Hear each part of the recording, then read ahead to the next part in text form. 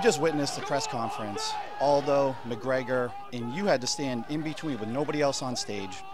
These guys stand up, pressing against you.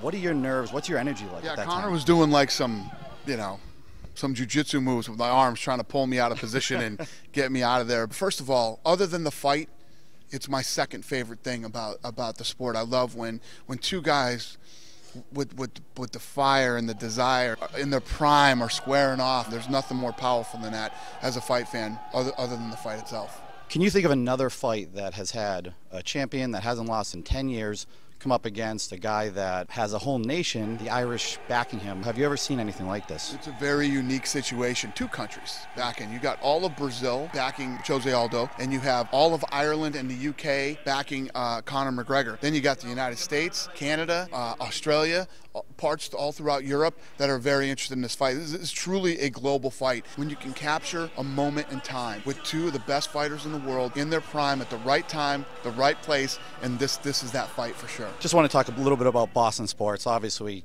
town of champions the last 10 years Patriots, Celtics, Bruins, Red Sox. UFC's come into town here and really taken over. Boston is a is a town of kick-ass, unbelievable champions. You know, Conor McGregor. He says today out there, they say, "Hey, Conor, welcome back to Boston." He says it's good to be home. You know, and the place goes crazy. Boston is one of those cities, and especially if you're Irish, man, you know, they, they, they have accepted him and taken him in as one of their own. Brian Malone with Dana White, President UFC, coming up, UFC 189.